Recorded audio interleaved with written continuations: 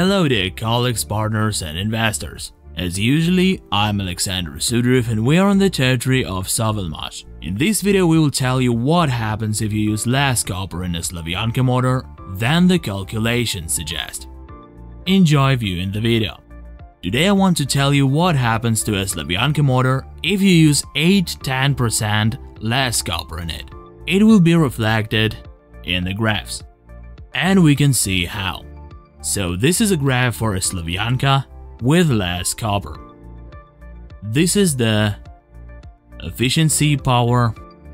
Consequently, we can see that the efficiency is 0.5% lower. Now let's have a look at the mechanical performance. As far as the mechanical performance is concerned, even with less copper used, everything is fine.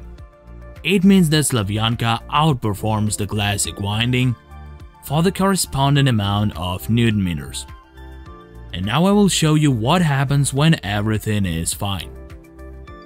In this case the amount of copper is just right, so it's sufficient. And we can see that the efficiency graph for the Slavyanka motor is considerably higher than the classic motor with the black graph, and the mechanical performance is consequently better as well.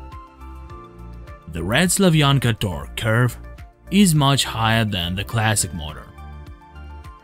So it's necessary to take into consideration some mistakes made when rewinding the motor. For instance, the attempt to use less copper and thus save materials. If you use less copper, there will be a certain decline in the performance. Nevertheless, even with a reduced amount of copper in the motor, we can achieve quite adequate motor torque performance, a bit within the error range with lower efficiency.